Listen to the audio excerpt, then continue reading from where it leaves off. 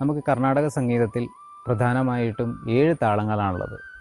ധ്രുവതാളം മഠ്യം രൂപകം ജമ്പ ത്രിപുട അട ഏക. ഈ ഏഴ് താളങ്ങൾക്ക് പ്രധാനമായിട്ടും മൂന്ന് അംഗങ്ങളാണുള്ളത്. ലഘു ദ്രുതം അനുദ്രുതം. ലഘു എന്ന് പറഞ്ഞാൽ അടിച്ച് ജാതിക്കനുസരിച്ച് വിരലിടുന്നതിനെയും ദ്രുതം എന്ന് പറഞ്ഞാൽ അടിച്ച് കൈ വീശുന്നതിനെയും ദ്രുതമെന്നും ഒരടി മാത്രം ഇടുന്നതിനെ അനുദ്രുതം എന്നും പറയുന്നു. അപ്പോൾ ലഘു എന്താണെന്ന് നോക്കാം. ലഘു എന്ന് പറഞ്ഞാൽ അടിച്ച് ജാതിക്കനുസരിച്ച് വിരലെണ്ണുക എന്ന് പറഞ്ഞു. അപ്പോൾ നമുക്ക് ജാതി ഏതൊക്കെയാണ് എന്നറിയണം. പ്രധാനമായിട്ടും അഞ്ച് ജാതികളാണുള്ളത്. തിസ്രം ചതുരസ്രം ഖണ്ഡം മിശ്രം സങ്കീർണം. തിസ്രം എന്ന് പറഞ്ഞാൽ മൂന്നക്ഷരകാലവും ചതുരസ്രം എന്ന് പറഞ്ഞാൽ നാലക്ഷരകാലവും ഖണ്ഡം എന്ന് പറഞ്ഞാൽ അഞ്ചക്ഷരകാലവും. മിശ്രം എന്ന് പറഞ്ഞാൽ ഏഴക്ഷരകാലവും. സങ്കീർണം എന്ന് പറഞ്ഞാൽ ഒൻപത് അക്ഷരകാലവുമാണ്. അപ്പോൾ ലഘു എന്ന് പറഞ്ഞാൽ നമ്മൾ പറഞ്ഞു അക്കോർഡിംഗ് ടു ജാതി. അല്ലെങ്കിൽ ജാതി ഏതാണോ ജാതിക്കനുസരിച്ച് ആണ് ലഘുവിന്റെ വാല്യൂ എന്ന് പറഞ്ഞു. അപ്പോൾ തിസ്ര ജാതി ലഘു എങ്ങനെയാണ് ഇടുന്നത് എന്ന് നോക്കാം. ഒരടി അടിച്ചതിന് ശേഷം രണ്ട് വിരലെണ്ണുന്നതിനെ തിസ്ര ജാതി ലഘു എന്ന് പറയുന്നു. ഒന്ന് ഞാൻ കാണിച്ചു തരാം. ഒരടി അടിക്കുക ഒരു വിരലെണ്ണുക രണ്ട് വിരലെണ്ണുക അങ്ങനെ ടോട്ടൽ വാല്യൂ എന്ന് പറയുന്നത് മൂന്ന് അക്ഷരകാലം വരും. അപ്പോൾ വൺ ടു ത്രീ ഇനി ചതുരശ്ര ലഘു എങ്ങനെയാണ് നോക്കാം? ഒരടി അടിച്ചതിന് ശേഷം മൂന്ന് വിരലെണ്ണുന്നതിനെ ചതുരശ്ര ലഘു ലഘു എന്ന് പറയുന്നു. വൺ ടു ത്രീ ഫോർ ഇനി ഖണ്ഡ ലഘു. ഖണ്ഡ ലഘു എന്ന് പറഞ്ഞു കഴിഞ്ഞാൽ അടിച്ചിട്ട് നാല് വിരലിടുന്നതിനെ ആ നാല് വിരലിടുന്നതെന്ന് വെച്ച് കഴിഞ്ഞാൽ അടി നമ്മൾ അടി അടി അടിക്ക് ഒരടിയും കൂടെ അടിക്കുന്നതുകൊണ്ടാണ് നമ്മൾ നാല് വിരലിടുന്നത്. അപ്പം നാ അടിയടക്കം അഞ്ച് അക്ഷരകാലം വരണം.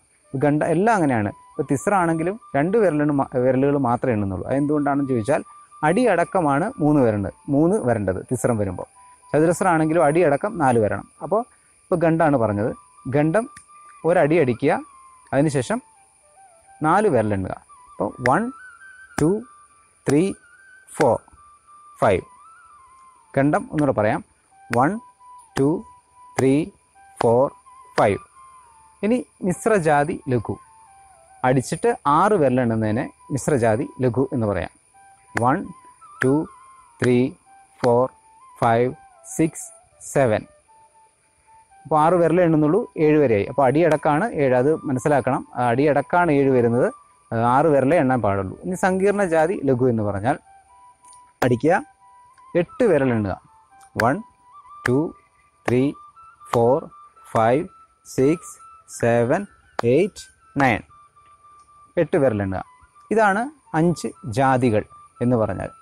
അപ്പോൾ പ്രധാനമായിട്ട് മൂന്ന് അംഗങ്ങളാണുള്ളത്. ലഘു അനുദ്രുതം ദ്രുതം എന്ന് പറഞ്ഞു. അപ്പോൾ ലഘു എന്ന് പറഞ്ഞാൽ ജാതിക്കനുസരിച്ച് അടിച്ച് വിരലെണ്ണുന്നതിനെ ലഘു എന്ന് പറയാമെന്ന് പറഞ്ഞു. അപ്പോൾ അഞ്ച് ജാതി ഏതാണ്? തിസ്രം ചതുരസ്രം ഖണ്ഡം മിശ്രം സങ്കീർണം. ഈ അഞ്ച് ജാതികൾ എങ്ങനെയാണ് ലഘുക്കളിൽ വരുന്നത്? അപ്പോൾ ഏത് ജാതിയാണോ അതിന് ഒരു അടി കൊടുത്തിട്ട് ആ ജാതി എത്രയാണെന്ന് വെച്ച് കഴിഞ്ഞാൽ ഇടുക. അപ്പോൾ തിസ്രം എന്ന് പറഞ്ഞാൽ മൂന്ന് ചതുരസ്രം എന്ന് പറഞ്ഞാൽ നാല് ഖണ്ഡം എന്ന് പറഞ്ഞാൽ അഞ്ച് മിശ്രം എന്ന് പറഞ്ഞാൽ ഏഴ് സങ്കീർണം എന്ന് പറഞ്ഞാൽ ഒൻപത്. ഇനി ഈ ലഘുവിന് ഒരു സിമ്പലുണ്ട് സിമ്പൽ നമ്മൾ ഇംഗ്ലീഷ് ലെറ്ററിൽ ഐ അല്ലെങ്കിൽ നമുക്ക് ഒന്ന് എന്ന് പറയാം. അപ്പോൾ ഒരു വര. അതാണ് ഇതിന്റെ സിമ്പൽ അല്ലെങ്കിൽ അടയാളം എന്ന് പറയുന്നത് ലഘുവിന്റെ അടയാളം ഒന്ന് എന്നാണ്. ഇനി ദ്രുതം നോക്കാം. ദ്രുതം എന്ന് പറഞ്ഞു കഴിഞ്ഞാൽ അടിച്ച് വീശുന്നതിനെ നമ്മൾ ദ്രുതം എന്ന് പറയുന്നു. ഇതിന്റെ അക്ഷരകാലം എന്ന് പറയുന്നത് രണ്ടാണ്. നമ്മൾ രണ്ട് ക്രിയയാണ് ചെയ്യുന്നത്. അതുകൊണ്ട് തന്നെ അതിന്റെ അക്ഷരകാലം രണ്ടാണ്. വൺ ടു രണ്ട് അക്ഷരകാലമാണ്. അതിന്റെ സിമ്പൽ എന്ന് പറയുന്നത് ഒരു സീറോയാണ് സീറോയാണ് ദ്രുതത്തിന്റെ അംഗം എന്ന് പറയുന്നത്. പിന്നെ ഇനിയുള്ളത് അനുദ്രുതമാണ് അനുദ്രുതം എന്ന് പറഞ്ഞു കഴിഞ്ഞാൽ ഒരടി മാത്രം ഇടുന്നതിന് അനുദ്രുതം എന്ന് പറയുന്നു.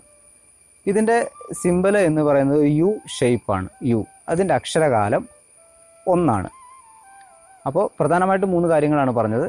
ഇപ്പോൾ ലഘു ഏതാണോ ജാതി അതാണ് അതിന്റെ അക്ഷരകാലം. ഇപ്പോൾ തിസ്ര ജാതി ലഘു ആണെങ്കിൽ മൂന്നായിരിക്കും അക്ഷരകാലം. ചതുരസ്രജാതി ചതുരസ്ര ജാതി ലഘു ആണെങ്കിൽ നാല് ഖണ്ഡാണ് അഞ്ച് മിശ്ര ആണെങ്കിൽ ഏഴ് സങ്കീർണാണെങ്കിൽ ഒൻപത് എന്ന് പറഞ്ഞു. അതേപോലെ അത് ഏത് ജാതിയാണോ അതിനനുസരിച്ചിരിക്കും ലഘുവിന്റെ വാല്യൂ ഇപ്പോൾ ലഘുവിന് കൃത്യമായിട്ടൊരു വാല്യൂ ഇല്ല. ഏത് ജാതിയാണോ പറയുന്നത് ആ ജാ ആ ജാതിക്കനുസരിച്ചാണ് ലഘുവിന്റെ വാല്യൂ പക്ഷേ ദ്രുതവും അനുദ്രുതത്തിനും ഫിക്സഡ് ആയിട്ടൊരു വാല്യൂ ഉണ്ട്. അക്ഷരകാലമുണ്ട് ദ്രുതം എന്ന് പറഞ്ഞാൽ അടിച്ച് വീശുന്നു. രണ്ടക്ഷരകാലം അനുദ്രുതം എന്ന് പറഞ്ഞാൽ ഒരടി മാത്രം അതിന് ഒരക്ഷരകാലം. അപ്പോൾ ഒരു കാര്യം കൂടെ ഞാൻ പറഞ്ഞ് നിർത്താം. അതായത് നമ്മൾ ഏഴ് താളങ്ങൾ പറഞ്ഞു. അപ്പോൾ ഈ ഏഴ് താളങ്ങൾക്ക് അംഗങ്ങളുണ്ട്. ഇപ്പോൾ ധ്രുവതാളം എന്ന് പറഞ്ഞാൽ അപ്പോൾ അംഗങ്ങൾ എന്താണെന്ന് വെച്ചാൽ അംഗങ്ങൾ ഞാനിപ്പോൾ പറഞ്ഞ സാധനമാണ് അംഗം. അതായത് ലഘു ദ്രുതം അനുദ്രുതം ഇപ്പോൾ ഏഴ് താളങ്ങൾക്ക് അംഗങ്ങളുണ്ട്. അംഗങ്ങൾ ഏതാണെന്ന് നമുക്ക് നോക്കാം. ധ്രുവതാളം ലഘു ദ്രുതം ലഘു ലഘു. നമ്മൾ ഒന്ന് പൂജ്യം ഒന്ന് ഒന്ന്. അതാണ് അതിന്റെ സിമ്പിൾ വരിക. നമ്മൾ അതിന്റെ സിമ്പിൾ പഠിച്ചു. ലഘു എന്ന് പറഞ്ഞാൽ ഒന്ന് ദ്രുതം എന്ന് പറഞ്ഞാൽ പൂജ്യം അണുദ്രുതം എന്ന് പറഞ്ഞു കഴിഞ്ഞാൽ യു എന്ന് പഠിച്ചു. അപ്പോൾ നമ്മൾ ഒന്നാമത്തെ താളമായ ധ്രുവതാളത്തിന്റെ സിമ്പൽ എന്ന് പറയുന്നത് അല്ലെ അംഗം എന്ന് പറയുന്നത് ലഘു ദ്രുതം ലഘു ലഘുവാണ് അടുത്തത് മട്ടിതാളം ലഘു ദ്രുതം ലഘു. അടുത്തത് രൂപകതാളം. ദ്രുതം ലഘു. ചമ്പതാളം. ലഘു അനുദ്രുതം ദ്രുതം. ത്രിപുടതാളം ലഘു ദ്രുതം ദ്രുതം. അടതാളം ലഘു ലഘു ദ്രുതം ദ്രുതം. ഏകതാളം ലഘു. ഇതാണ് ഏഴ് താളത്തിന്റെ അംഗങ്ങൾ എന്ന് പറയുന്നത്. അപ്പോൾ ഇത്രയും കാര്യങ്ങൾ നമ്മൾ കുറച്ച് ബേസിക്സ് ആയുള്ള കാര്യങ്ങൾ ബൈഹാർട്ട് ചെയ്ത് തന്നെ വെക്കണം. നമുക്കിതെപ്പോഴും ബുക്കിൽ നോക്കി പറയാനോ അല്ലെങ്കിൽ എന്തെങ്കിലും ഒരു കണക്ക് അല്ലെങ്കിൽ ഏത് താളാണോ ചോദിക്കുമ്പോൾ നമുക്ക് ബുക്കിൽ നോക്കി ചെയ്യാൻ പറ്റാത്ത കാര്യമാണ് അത് നമ്മൾ കുറച്ച് കാര്യങ്ങൾ ബേസിക്സ് ആയുള്ള കാര്യങ്ങൾ നമ്മൾ ബൈഹാർട്ട് ചെയ്ത് വെക്കണം. താളങ്ങളുടെ പേര് അവയുടെ അംഗങ്ങൾ ഏതൊക്കെയാണെന്നുള്ളതും അതേപോലെ അംഗങ്ങൾ എത്രയാണ് അതിന്റെ അക്ഷരകാരം എന്നുള്ളതും നമ്മളത് ബൈഹാർട്ട് ചെയ്ത് വെച്ചേ പറ്റുള്ളൂ. അപ്പോൾ ഇത്രയും കാര്യങ്ങളാണ് ഇന്നത്തെ ക്ലാസ്സിൽ ഉദ്ദേശിക്കുന്നത്. പ്രധാന പ്രധാനമായിട്ടുള്ള ബേസ് വളരെ ബേസിക്സ് ആയിട്ടുള്ള കാര്യമാണ്. അപ്പോൾ താളം ആദ്യം മുതൽ പഠിക്കാൻ ആഗ്രഹിക്കുന്നവർക്ക് വേണ്ടിയിട്ടുള്ള ഒരു ക്ലാസ്സാണിത് ബേസിക് വളരെ ബേസിക്സ് മുതൽ തുടങ്ങാണ്. ഞാൻ തിയറട്ടിക്കലായിട്ടൊന്നും വളരെ വൈഡായിട്ടൊന്നും പറയുന്നില്ല. പ്രാക്ടിക്കലായിട്ട് എങ്ങനെ നമുക്ക് താളം ഉപയോഗിക്കാം എന്നതിനെ മാത്രമേ മാത്രമേ പറയുന്നുള്ളൂ. അപ്പോൾ ഇനി തുടർന്നുള്ള വീഡിയോയിൽ ഇപ്പോൾ താളത്തിന്റെ അക്ഷരകാലം കാണുന്നത് എങ്ങനെ അതേപോലെ മാത്രം എങ്ങനെ കാണാം ഇപ്പോൾ നമ്മൾ താളം എങ്ങനെ നമുക്ക് പ്രാക്ടീസ് ചെയ്യാം സർവലോകം എങ്ങനെ പ്രാക്ടീസ് ചെയ്യാം കൂടുതൽ നമുക്ക് കറക്റ്റ് ആക്കാം എന്നതിനെക്കുറിച്ചാണ് അടുത്ത വീഡിയോ വരുന്നത്. അപ്പോൾ വീഡിയോ എല്ലാവരും കണ്ടിഷ്ടപ്പെട്ടെങ്കിൽ ലൈക്ക് ചെയ്യുക മറ്റുള്ളവർക്ക് എത്തിച്ചു കൊടുക്കാൻ ഷെയർ ചെയ്യുക. തുടർന്നുള്ള വീഡിയോ ലഭിക്കാനായി സബ്സ്ക്രൈബ് ചെയ്ത് നോട്ടിഫിക്കേഷനായി ബെല്ലൈക്കൺ ക്ലിക്ക് ചെയ്യുക. അപ്പോൾ നന്ദി.